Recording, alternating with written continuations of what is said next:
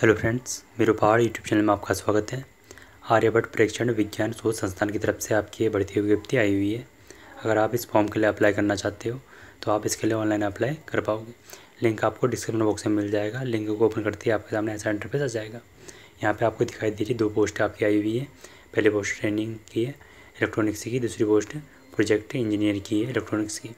तो आपको इसमें विज्ञप्ति चेक करने के लिए इसी पोस्ट के ऊपर आपको क्लिक करना पड़ेगा। जैसे आपको शुरू में प्रोजेक्ट रेनी इलेक्ट्रॉनिक्स की आपको विज्ञप्ति चेक करनी है तो आपको इसके ऊपर क्लिक कर देना है। क्लिक करते ही आपके सामने इसका पेज खुल जाएगा। इसके लिए आपकी जो क्वालिफिकेशन रखी गई है बी बी टेक आपका होना चाहिए इलेक्ट्रॉनिक्स इलेक्ट्रिकल इंस्ट्रूमेंटल सब्जेक्ट आपका इसमें होना चाहिए। साथ में आपका यू जी साठ परसेंट मार्क्स के साथ इसमें कंप्लीट होना चाहिए। इसमें आपका डिजिटल आपको बताया गया है। एक्सपीरियंस आपको होना चाहिए, इसका नॉलेज आपको होना चाहिए इस फ़ील्ड का।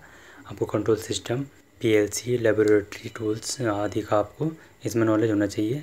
और बाकी की चीज़ें आप इसमें चेक कर सकते हो लिंक आपको दिया हुआ है। क्योंकि इसमें काफ़ी पॉइंट है, जिसे आपको चेक कर लेना है। और इसके साथ ही आपको अगली पोस्ट जो आपकी आई हुई है प्रोजेक्ट इंजीनियर की है, जिसमें आपकी एक पोस्ट है। इस पोस्ट के लिए जो आपकी क्वालिफिकेशन आ गई है, ये भी आपकी सेम है। बी बी टेक आपका होना चाहिए इलेक्ट्रॉनिक इलेक्ट्रिकल इंस्ट्रूमेंटल ट्रेड में आदि, और आपका यू जी सी साठ परसेंट मार्क्स के साथ आपका कंप्लीट होना चाहिए। और इसके साथ ही आपका ग्रेजुएशन के बाद आपको दो साल का रिलेटिव फ़ील्ड में एक्सपीरियंस होना चाहिए। इसे आप चेक कर सकते हो, इसका लिंक मैंने अपने डिस्क्रिप्शन बॉक्स में आपको दिया हुआ है। और इसके साथ ही आप यहाँ से ही इसके लिए पोस्ट के लिए भी अप्लाई कर सकते हो। तो आपको अप्लाई लिंक में चले जाना है, जिस भी पोस्ट के लिए आप अप्लाई करना चाहते हो। यहाँ पे आपको अप्लाई नाउ का ऑप्शन दिखाई दे रहा है। अप्लाई नाउ में क्लिक करने के बाद आपके सामने ऐसा इंटरव्यूस आ जाएगा। आपको इसमें सबसे पहले पर्सनल डिटेल डालनी है, और उसके बाद आपको एजुकेशन क्वालिफिकेशन और एक्सपीरियंस डालना है। उसके बाद आपको डिक्लेरेशन आपको दे देना है, फिर आपको प्रीव्यू चेक करना है, और उसके बाद आपका फॉर्म इसमें कंप्लीट हो जाएगा। इसमें आपको सबसे पहले आपकी पोस्ट दिखाई दे रही है। आपको आपको अपना नाम डालना फिर फादर का नाम, फिर अपनी डेट ऑफ़ बर्थ डाल देनी है। जेंडर आपको चूज़ करना है। अपना शादीशुदा हो या ना हो, आपको यहाँ पे बता देना है। नेशनलिटी डाल देनी है और फ़िज़िकल हैंडीकैप हो तो आपको ऐसे नो में आपका जॉब दे देना है। इसके बाद आपको यहाँ पे अपना आधार नंबर डालना है फिर आपको परमानेंट एड्रेस डाल देना है आपको अपना और उसके बाद आपको अपनी कंट्री स्टेट आपको चूज़ कर लेना है।